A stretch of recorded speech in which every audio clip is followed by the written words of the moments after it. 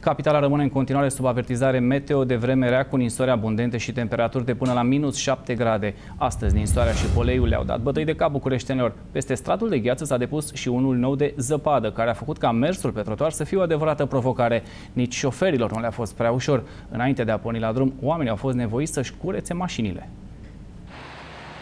E iarnă în toată regula pe străzile din capitală. Din această dimineață, de la ora 6, a intrat în vigoare o informare meteo de ger, Lapoviță, Ninsoare și Polei. În capitală ninge puternic încă de aseară, iar pe trotuare și carosabil s-a depus deja strat consistent de zăpadă.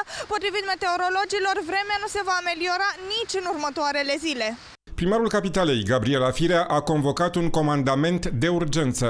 Fac apel la dumneavoastră să acționați nu doar pe poduri, rampe, ci și pe străzile laterale, pentru că acolo, în special, au avut loc accidente, chiar dacă pe marile bulevarde s-a circulat uh, în condiții de iarnă, dar totuși bine de dimineață și până acum.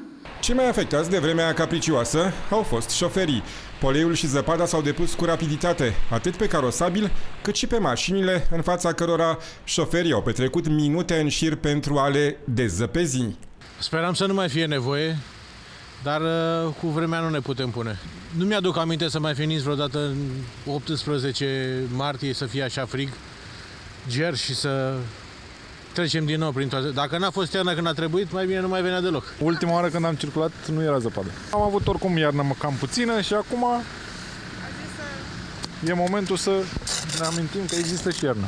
Principalul pericol pentru pietoni au fost însă trotuarele, care au semănat cu niște patinoare. Ieri a fost gheață și, din păcate, nu s-a dezghețat pe nicăieri.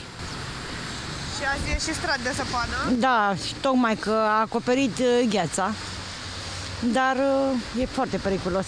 La serviciul de ambulanță București-Ilfov, în continuare, numărul solicitărilor este mare. Vorbim de 1957 de persoane care în ultimile 30 de ore au avut nevoie de ambulanță în regiunea București-Ilfov. 55 de persoane care au suferit traumatisme ușoare, luxație, întorse sau fracturi prin uh, cădere. Potrivit meteorologilor, frigul se va menține până la finalul săptămânii viitoare, perioada în care sunt așteptate temperaturi mai mici chiar și cu 15 grade decât ar fi normal să se înregistreze la finalul lunii martie.